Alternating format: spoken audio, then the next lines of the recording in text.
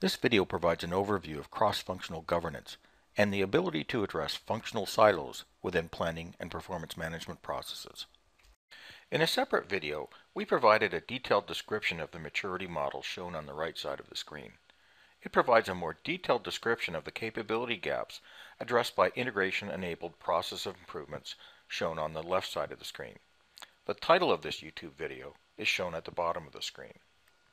In this one, we'll focus on cross-functional governance. More specifically, we'll focus on the capabilities that comprise the gap between current state processes and those that are required to overcome functional silos that can undermine performance and strategy execution. During the video, we'll highlight these capability gaps in more detail as summarized on the left side of the screen.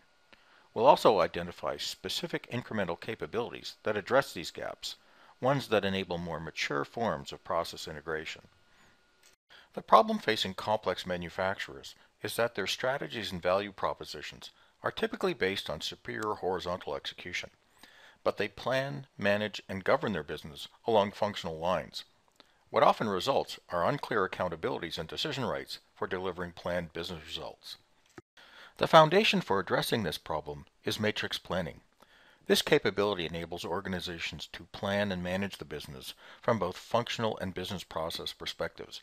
It serves as a key integration point between functions and business processes by providing business process costs that are regarded as accurate because they are always reconciled to budgets, forecasts, and the general ledger. A key enabler of matrix planning are planning models that integrate financial, operational, business process, activity, and supply chain planning processes.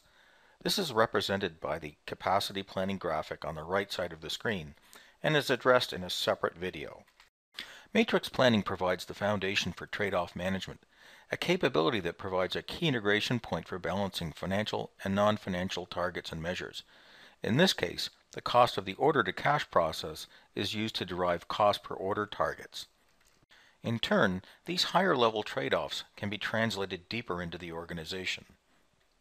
Collectively, these capabilities provide the foundation for effective cross-functional governance. This is because they provide the basis for process-based accountability and decision rights. People can be held accountable for productivity targets versus fixed budgets because the data is credible and accurate. What's more, Rewards can be based on managing trade-offs versus individual metrics. By doing so, it provides the basis for a formal optimization mechanism that ensures that one metric isn't being achieved at the expense of another. But more importantly, it provides the means to entrench process thinking into how organizations plan and manage their business. This is because business process owners can be formally engaged in the strategic, financial, and operational processes that organizations use to plan and manage their business. The absence of such capabilities is one of the primary reasons why initiatives like operational excellence, continuous process improvement, and sustainable cost reduction fail to achieve lasting results.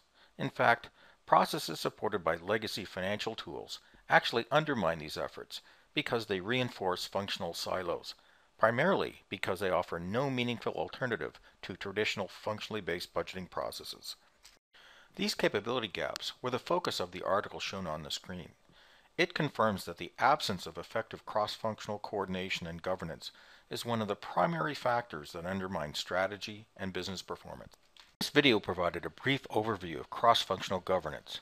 Further details about the capability differences can be found in the YouTube video shown at the bottom of the screen. Thank you for watching this video. Please use the contact information provided on the screen for further details about its contents or how we might be of assistance.